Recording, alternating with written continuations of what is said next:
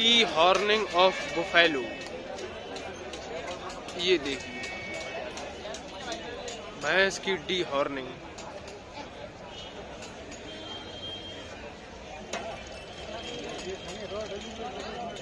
किस प्रकार से की जाती है भैंस की डी हॉर्निंग?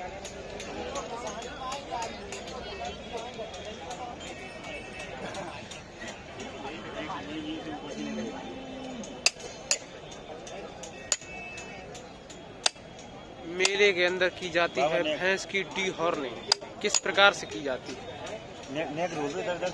अरे ऐसे नहीं लगती यार तुम होशियार हो जाते अरे अगले आदमी खुद जानकारी है। हाँ। हाँ तो बना दो ना तुमसे और क्या तो फिर लगाओ ना यार। तब हम भैंसिया करके तुमने छोड़ दी नहीं अब। बढ़िया करके मुझे भी तो तुमसे कह रहे हैं नेक माइक में करो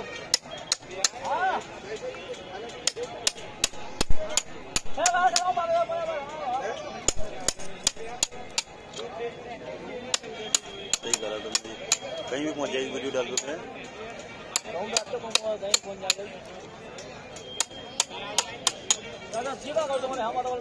ना ना, लटक रहा तुमने तुम्हें सजाई एक भैंस के, तुमने भैंस दी। तुम्हारी कसम मॉमीटा हुआ भैंस में बस भैंस में मॉमीटा हुआ भैया कसम बढ़िया।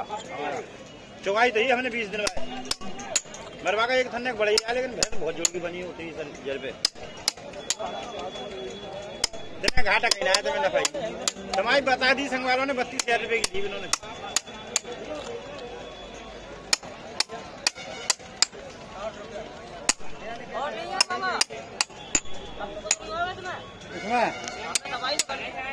सफ़ाई कर दी हम लोग बना के रेती लगाएँगे।